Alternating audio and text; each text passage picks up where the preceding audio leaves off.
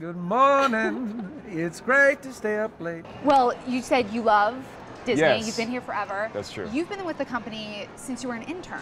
Yes, but uh, both of us actually, yeah, both Nathan and I have been with the, the company about 16 years, and you know Nathan comes from a story background. I come from an animation background, and and one of the things what's great about being here at Disneyland today is that out in the parks we saw Rapunzel and Flynn as live characters with real families and real children interacting for the first time, and to us that's that's amazing. That's to be a part of that Disney legacy is just incredible for us. Were you obsessed with Disney as children? Has this been something like when you were little boys growing up, you always just loved the franchise? You loved the company? Oh, definitely. Yeah, when I was when I was a little kid, I um, this was before there was home video and everything.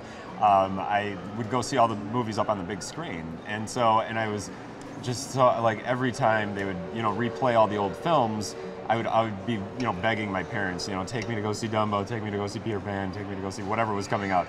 And so uh, throughout my life, I always wanted to work here. I always wanted to be a part of this. It's, it's such an amazing place. There's so much heart and warmth that goes into, you know, these films. And uh, Tangled has just that. It, it, this, it's a big action-packed roller coaster of a movie. Uh, it's hilarious, uh, but it's very sincere and it's really connecting with audiences. You guys have worked together since Mulan. What is the creative division of labor like?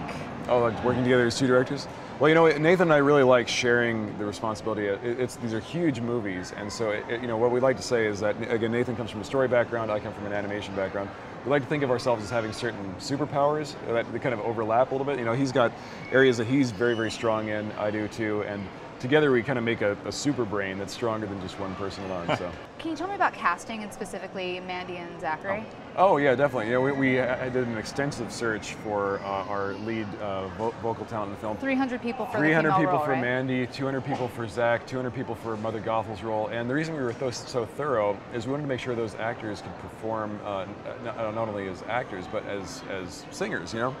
And what was great is that those characters, when you hear them speak on screen, you don't think that's a celebrity doing some voice. You just believe that's Rapunzel, that's Flynn, that's Gothel. And the fact that they can all sing so beautifully was a, a great plus for us.